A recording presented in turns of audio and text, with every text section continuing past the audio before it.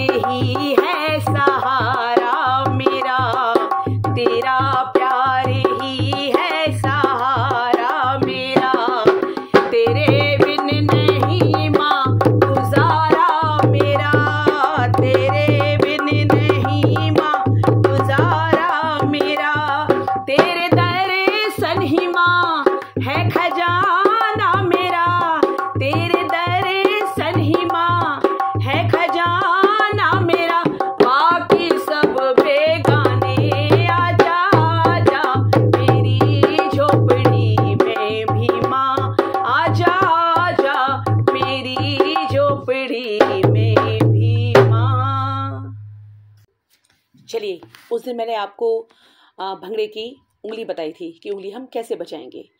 उसे हम एक बार फिर और देखेंगे, उसके बाद हम डपली देखेंगे। और आज मैं अपने कुछ क्वेश्चन के आंसर भी इसमें देना चाहूँगी, जो मैं पिछली बार नहीं दे पाई थी, वो भी बताना चाहूँगी। सबसे पहले हम भंगड़े की उंगली देखेंगे और ध्यान देते हैं। तो चलिए, देखिए, उस दिन मैंने आपको बताया था कि भंगड़े के स्टेप बसते हैं उंगली पर।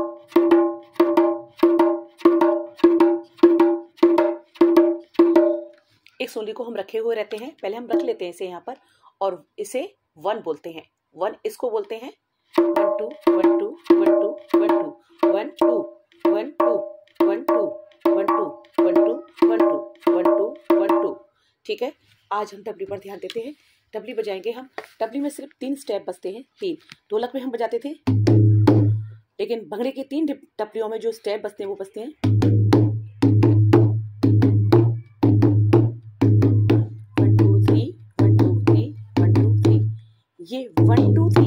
नहीं है। वन टू थ्री नहीं। One two three one two three one two three one two three तीनों स्टेप एक साथ बज रहे हैं। ना दो जल्दी, ना एक देर से। तीनों इक्वल बिल्कुल इक्वल टाइम पर बज रहे हैं।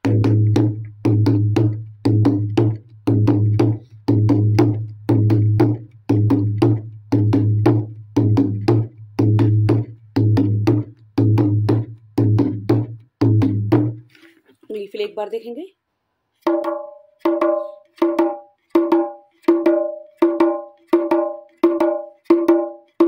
इसमें भी आप देखिए उंगली नीचे जा रही है ऊपर नहीं है।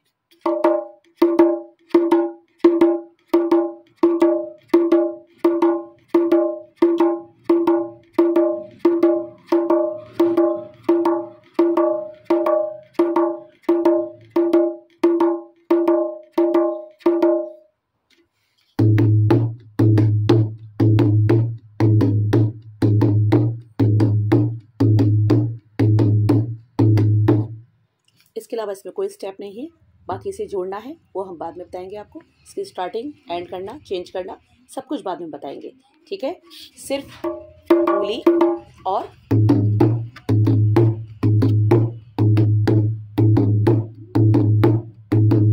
जब ये मिलकर बजेगी तो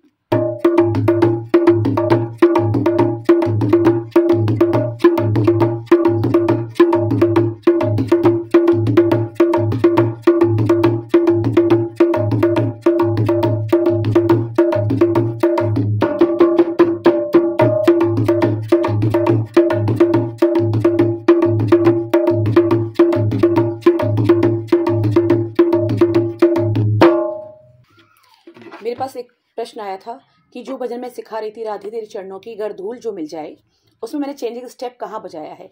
उसे आप एक बार और देखें कि मैंने चेंजिंग स्टेप बजाया कहाँ है? हो राधे तेरे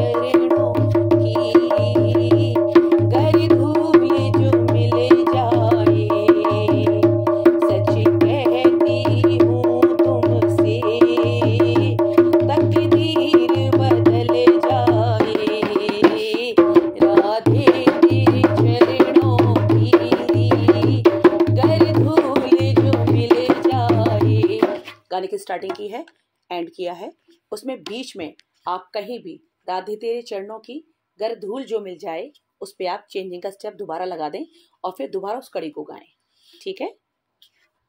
इसके बावजूद भी अगर आपको कुछ और भी समझ में ना आया हो तो मैं अपना पर्सनल नंबर उस पर डाल दूँगी। आप मुझे मेरे व्हाट्सअप नंबर पर वो गाना लेकर सेंड कर दीजिए। मैं आपको वो टिक मार्क करके सारा गाना आपको आपके व्हाट्सएप पर सेंड कर दूँगी, ताकि आपको भजन गाने में और बजाने में कोई दिक्कत ना आए। और इसी के साथ मैं कहना चाहती हूँ कि आपको इसके अलावा कोई और भी प्रॉब्लम ढोलक बजाने में या भंगड़े के स्टेप बजाने में कोई भी दिक्कत आ रही हो, अभी तो मैंने शुरुआत की है भंगड़े के स्टेप की, डपली की और उंगली की। अगर कहीं भी आपको कोई दिक्कत आए, उंगली चेंज करने में की क्योंकि ढोलक की डपलियों की उंगली अलग होती हैं और भंगड़े की अलग होती हैं। उसमें तीन बजती हैं और उसमें दो बजती हैं। तो थोड़ा सा चेंज करने में दिक्कत आती है। अगर कोई भी प्रॉब्लम आपको आए, आप मुझसे बेझिझक पूछ सकते हैं।